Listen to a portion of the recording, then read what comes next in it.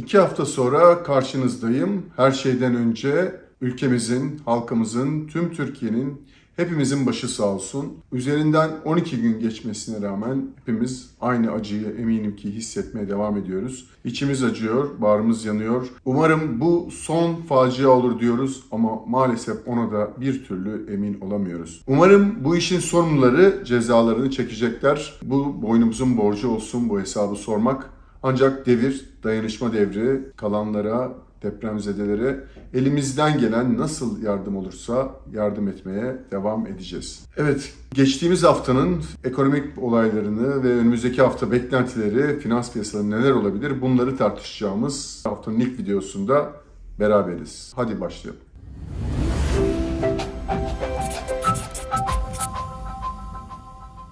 Evet deprem yaralarını sarmaya çalışıyoruz. Zor günlerden geçiyoruz Türkiye olarak. Ama hayat devam ediyor. Önümüzdeki günlerde en azından daha güçlü varlıklarımızı koruyarak günleri atlatabilirsek, bu dönemi atlatabilirsek bu felaketten zarar görenlere belki biraz daha faydalı olabiliriz. Bir amacımız da bundan sonra o olmalı. Ben şahsen 2023 boyunca tüm YouTube gelirlerimi deprem zedelere bağışlayacağım ve elimden gelen yardımı yapmaya devam edeceğim. Piyasalarda zor bir döneme girdik. Zaten çok karmaşık ve zor bir dönemden geçiyorduk. Bunu biliyorsunuz 2 yıldır, 2 yılı aşkın bir süredir kanalımın aboneleri, yakın takipçilerim biliyorlar.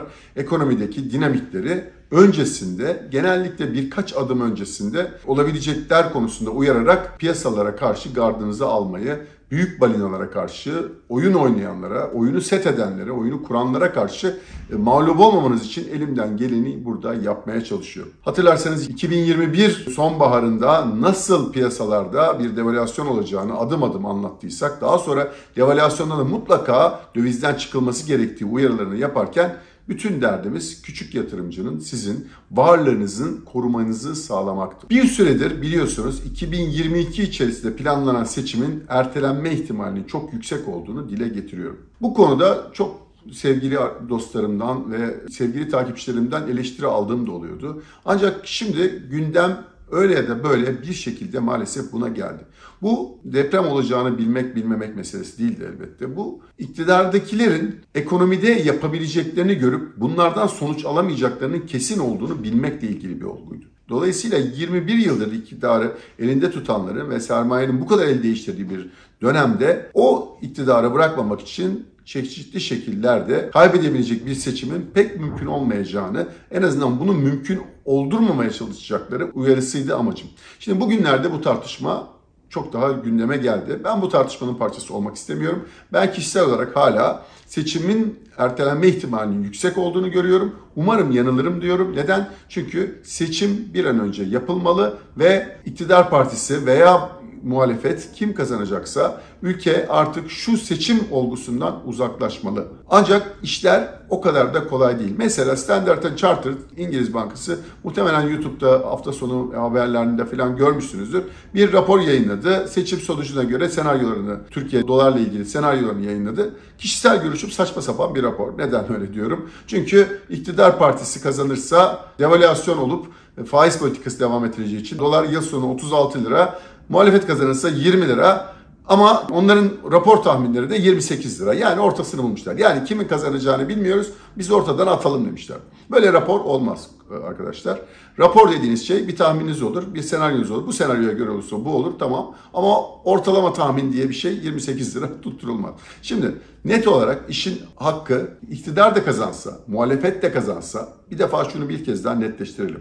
Yani seçim olursa her şekilde dolar ister istemez bir devalüasyona ihtiyaç var. Yani Türk lirasında Türkiye'de bir deval olmak zorunda. Çünkü sistem o kadar tıkandı ve deprem zararları da üzerine eklendi şimdi. Değişik hesaplamalara göre depremin hasarı 50 milyar dolarla 80 milyar dolarası değişiyor Türkiye hasarı. Zaten 200 milyar dolara yakın açığımız var sistemde. Sıkıntımız var. Onu kapatmamız gerekirken üzerinde çok daha büyük sorunlarla artık baş etmek zorundayız. Dolayısıyla Türkiye'nin ciddi döviz ihtiyacı var ve şu anda tasarrufa yönelen bir tavrı yok. Dolayısıyla hiper enflasyona doğru sürüklenen bir ekonomi var.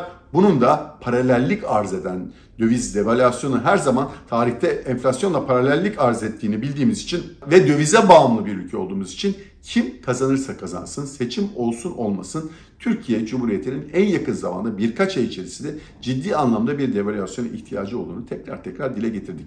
Sistem tıkandı. Artık bankalarda makasları açma yoluna kadar gittiler. Yani yatırımcıların aslında bankalardaki varlıklarına çökmeye kadar gidiyor bu iş affedersiniz. Çünkü burada bankalar size o yatırımı yaparken size ürün yelpazesi sunuyorlar ve o ürün yelpazesinin içerisinde altın, gümüş ve dolar gibi ürünler de var. Şu anda artık onları almamanız için size o makasları aralıkları açtıkları için bu işin artık ciddiyetinin ne kadar önemli olduğunu anlatmaya çalışıyorduk. Umarım yöneticiler de bunun farkındadır. Yaptıklarının normal bir davranış olmadığını yani vatandaşın illa bir şeye yaptırılmak zorunda kalmasının çok da sağlıklı olmadığını, bunun da tehlikeli sonuçlar doğurulabileceğini algılıyorlardır. Umarım bunu arada sırada da olsa, küçük toplantılarda da olsa düşünüp tartışıyorlardır diyorum. Büyük ihtimalle her sabah buna uyanıyorlar. O başka da ciddi, çok ciddi bir döviz sorunumuz var ve bu sorunu aşmak için de makasları açmak değil, o devalüasyonu yapıp tam tersine vatandaşın döviz tevdiat hesaplarını boşaltması için sebep yaratmak. Çünkü zaten öyle ya da böyle dövizi burada zapt edemeyeceklerini fark ettiler. Taşıma suyla değirmen döndürmeye çalışılıyor uzunca bir zamandır. O su da bitti, değirmende durdu. Bunun artık tıkanma noktasındayız. Bu esnada neler oluyor? Piyasaya para verilmeye devam ediyor. Borsa ile ilgili birazdan değerlendirmeler yapacağız. Borsanın kapanması, kapanmaması tartışmaları vardı biliyorsunuz. Elbette kapanmalıydı. Bunun tartışılabilecek bir yanı yoktu. Ancak bunun da bazı kişisel sebeplere dayanmış olabileceğini, bunun da SPK tarafından araştırılıp hemen ortaya çıkarılabilecek bir gerçek olduğunu ama bunun henüz yapılmadığını görmediğimizi üstüne basa basa katıldığım yayında söylemiştim. Bu konuyla ilgili daha fazla da konuşmak istemiyorum. Zaten yapılması gerekenler bellidir. Yapılmış mıdır? Daha sonra yapılmıştır. Önlemler alınmıştır. Çok da doğru önlemler görüyorum. BES fonlarından arttırılması da dahil olmak üzere. Ancak Tabii ki bu kadar parasal genişlemenin bazı sonuçları da olacak. Yani ülke enflasyona, hızlı hiper enflasyona hızla sürükleniyor. Biz grafikler üzerinden piyasayı yorumlamaya devam edelim. Dolarla ilgili tahminlerimi biliyorsunuz artık 23 rakamların maalesef buralarda kısa vadeli bir hedef olma ihtimali kalmadı. Ne kadar çok baskı altında bırakırsanız o kadar çok devale yer bırakıyorsunuz uzun zamandır söylüyorum. Ortalıkta kıyamet kopmuş hala 18.85'lerde 86'larda dövizi tutmaya çalışan bir merkez bankası var. Ne uğruna? Onu bilmiyorum. Onu Merkez Bankası'na sormakta fayda var. Onun dışında dolar grafiğine baktığımız zaman biliyorsunuz artık orada kademeli verdiğim 33 mantıklı bir hedef, orta vadeli hedef haline geldi. 2023 içerisinde ben 33 seviyesinin rahatlıkla ulaşılması gerektiğini e, düşünüyorum. Eğer daha kuvvetli bir para girişi sağlanacak bir formül üretilirse daha fazla deval yapılmak zorunda kalacak. Ama en azından 30'lu rakamlara doğru yapılacak bir devalüasyonun en azından sistemindeki tıkanıklığı biraz açmak sonucuna doğurabilir. Gram altında biraz satışlar geldi. Ons bacağı dolayısıyla. Gram altın şöyle çökecek böyle çekecek gibi söylentiler, yazılar, yorumlar okuyorum. Böyle şeyler olmayacak arkadaşlar. Gram altın uzun vadede hep söylüyorum fiziki yatırım. Sepetinizdeki Türkiye'deki en riskten kaçış enstrümanı yatırımıdır. Yani gram altın zaten fiziki olarak taşınması gereken aslında bir enstrümandır. Ama paranızı tamamını böyle ürünlere bağlarsanız her zaman hep uyarıyorum. iki buçuk yıldır bunu anlatıyorum. Her zaman bu işlerden hasar görürsünüz. Çünkü o hareketleri yakalama ihtimaliniz yok. Ama sepetinizin bir kısmını, tüm portföy sepetinizin, varlığınızın bir kısmını %20, %30 bir bölümünü gram altın, gram gümüş gibi ürünlere ayırıp bunun da en azından bir kısmını fiziki, bir kısmını da ekranda trade etmek için ayırırsanız ama bunu da bankalar aracılığıyla değil birkaç haftadır üzerinde basa basa söylediğim mesela altın sertifikalı ürün var, altın S1 var. Borsada da işlem yapabiliyorsunuz. Kısa vadeli trade'ler için uygun bir ürün olarak eğer illa altın trade edeceksiniz veya gümüş trade edeceksiniz. Gümüş fonları var borsada da işlem gören. Bunlara yatırım yapabilirsiniz gram bazında, TL bazında değerli metal yatırımı için. Bunları bir süredir gündeme taşıyorum. Hiçbir zaman portföy sepetinizin tamamını bu ürüne Ancak dünyanın gidişatı ile ilgili de biliyorsunuz büyük resimle ilgili sürekli olarak uyarılarda bulundum ve bu stagflasyon ortamının da nasıl gelişini anlatmıştık dünyada da ve artarak devam ediyor riskler. O açıdan o risklerin de detaylarını e, haftanın 3. videosunda bir kez daha değerlendireceğiz. Ons bazında analiz yapacağız. Şimdi gram altın grafiğine dönersek 1136 trend takip seviyemiz. Geçtiğimiz haftalarda en son iki hafta önceki yayınımda ve bir öncekinde biliyorsunuz 1100 seviyesine kadar gelme ihtimalini değerlendirmiştim düzeltmenin ki o iki videoya da mola başlıkları atmıştım. Yani burada altın ve gümüşte bir hareketin başladığını, orta vadeli bir rallinin başladığını, geri çekilmelerde bunun bir alım fırsatı olacağını ama o alım fırsatı için biraz daha nakitte olmanız gerektiğini anlatmıştık. Geri çekilmeler oldu. 1102'ye kadar geldi. Oradan hafif bir tepki verdi Cuma günü. Daha aşağı gelebilir mi? Elbette biraz daha gelebilir. Ons bacağı tam netleşmedi hareket. Yani ons bacağındaki ilk düşüş dalgası bitti gibi gözüküyor Cuma günü. Tepkiler gelebilir ama henüz kesin dönüş sinyali çok net değil ama ucuz yerlere geldiğini biliyoruz. Özellikle TL bazında trade ediyorsanız veya TL bazına yatırım yapıyorsanız zaten şuradan altının daha aşağı gelebilecek seviyeleri TL'de olası devalüasyonları kaçırma riskiyle yani dolara dönüp dönmeme arasında e, bir şeyde kalacağınız için çok da anlamlı olmayacak o aşamada sepet için, sepete yeni alım için yavaş yavaş uygun bölgelere geldiğimizi gözlüyoruz. Ama ekran başında ben hep karda olmak istiyorum diye düşünüyorsanız işte 1136 seviyesinin üzerindeki kapanışları, günlük kapanışları beklemeniz gerekecek. Bu düzeltmenin dozunun daha devam edip etmeyeceğini görmemiz açısından. Biliyorsunuz orta vadeli olarak yukarı hedeflerim baki 1185 vardı oradan geri döndük işte ilk hedefe gelmiştik. 1343, 1800, 2260 ve 2500 lira gram altın için orta ve uzun vadeli hedeflerimiz olmaya devam ediyor. Gram gümüşte 13.33 trend takip seviyemiz aşağısında kaldığı sürece gram gümüşte de henüz düzeltmenin bittiğini söyleyemeyiz ama ons bazında analizlerimizde haftanın 3. videosu detaylı değerlendireceğiz. Zira uygun bölgelere geldik. Raporlamalarda gecikmeler ve ekran fiyatının gerçek fiyatı yansıtmadığı günlere yine girmeye başladık. Uluslararası piyasalarda özellikle Amerika tarafında. Gram gümüşle ilgili de orta vadeli hedeflerimiz ekranda. Onlarda bir değişiklik yok önemli seviyelerden bir satış geldi. Yılın ilk başında DXY Global Dolar Endeks'teki hareketlilikle birlikte bu geri çekilme sağlanmış oldu. Tamamlanı tamamlanmadı. Çok net değil ama söylediğimiz seviyeye kadar gram gümüşte geri çekildi. Şimdi buralardan tepki vermeye çalışıyor.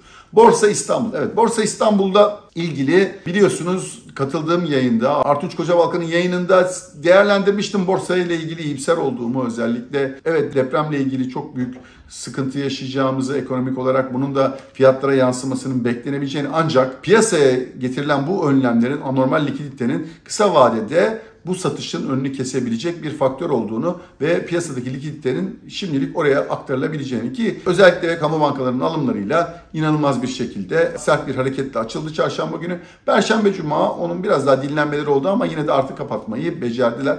Biliyorsunuz hep borsa ile ilgili, Borsa İstanbul'la ilgili bir süredir çok yapılan bir borsa diyorum. Yani tamamen e, mekaniği aslında bozuk ama e, bir şekilde organize bir piyasa haline getirilmiş. Fiyatların biraz da sistemik olarak istenildiği seviyede kapatılmayı becerildiği bir borsa olarak gözlüyorum. O açıdan düzeltmelerinden yükselişlerine kadar her şey belli bir yapılma şeklinde oluyor. Bunu tahta yapmak deyiminden hatırlarsanız yapılan borsa o anlamda söylüyorum.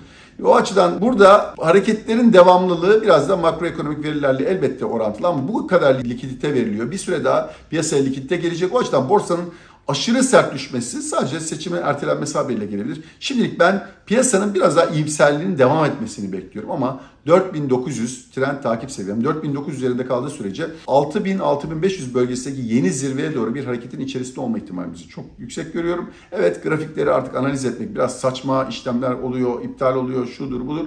Hangisine göre yapacağız? Mevcut ekranda artık gördüğümüze göre yapacağız. 4479'da en son yaptığı dibinde bir düzeltme tamamlanmış. Orada bir flat dip tabanı olduğunu kabul edersek buradan kalkışların yukarıya doğru yeni bir zirveye 6000-6500 aralığındaki bir hedefe doğru hareketine girmiş olabileceğini değerlendiriyoruz. O açıdan önümüzdeki günlerde ama onun da son yükseliş olacağını ve zor ve volatil günlerden geçtiğimizde bir kez daha hatırlatalım. Yani bu rallinin içinde olmak zorunda değilsiniz. Özellikle küçük hisse senetlerinde oyuncuların çok korktuğunu ve bu tahtaları yapan oyuncuların çok korktuğunu da gözlüyorum. Kulağıma da geliyor ve o kadar büyük alıcıda gelmeyeceği için özellikle o hisselerden birazcık çıkış, panik çıkışlarının görmeye devam edebileceğimizi düşünüyorum. Endeks 30 hisseleri ağırlıklı, bilançosu hep üzerinde durduğumuz ki biliyorsunuz burada defalarca anlattım. Bilançosu iyi hisselerle endeksin yavaş yavaş oralara doğru taşınma ihtimali var. Yani en azından BIST 30 hisseleriyle bir hareket olacak ve o da orta vadeli çıkış için son fırsat olacak. Ancak şimdilik 4-9 üzerinde kaldığı sürece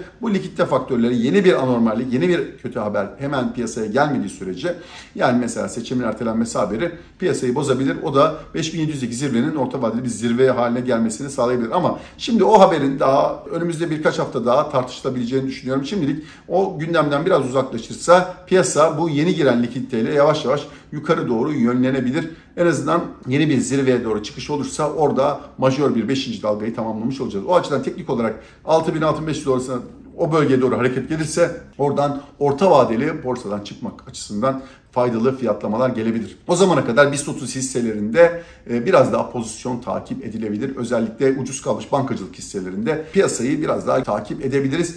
Ama Bunların hepsi 4900 aşağısı kapanışlarda beni rahatsız eder. Biraz daha kuvvetlenirse satışlar bu son 5. dalganın 41 5. dalga olma ihtimalini teknik analizden anlayanlar bilir. Yani önceki zirveyle bu işin bitmiş olduğunu değerlendirebiliriz. Bu sefer evet işlerin biraz daha yatay veya negatif piyasa şartlarında gelişebileceğini anlatabiliriz. Ama bu kadar çok likitte arttığı zamanlarda ben 90'lı yıllarda ve 2000'li yıllarda da piyasayı enflasyonist ortamlarda çok trade etmiş biri olarak e, borsanın çok aşağı gelmesinin de bu fazla para basılan dönemlerde çok da kolay olmadığını bir kez daha hatırlatayım. O açıdan doğru bilançolu şirketlere, temeli sağlam şirketlere yatırım yaptığınız zaman bu zamanlarda herkesin korktuğu dönemlerde para kazanma şansınız biraz daha artıyor. BIST 30 içinde 5440 trend takip seviyemiz oranın üzerinde kaldığı sürece şimdilik oranın da yukarı yeni bir zirveye doğru yönlendirildiğini söyleyebiliriz. Ama adım adım takip edeceğiz. Farklı bir senaryo gelişirse Twitter'dan veya Instagram'dan uyarmaya, YouTube'dan da kısa videolarla uyarmaya çalışacağım. Lütfen e, beni yakın takip edin. Katıldığım kanallarda da bu tip uyarıları yayınlamaya çalışıyorum. Bu zor günlerde yolunuza ışık tutmaya devam edeceğim. Hepinize çok dikkatli, harika günler diliyorum. Ne kadar olabilirse. Bir kez daha tüm halkımızın, ülkemizin, hepimizin başı sağ olsun.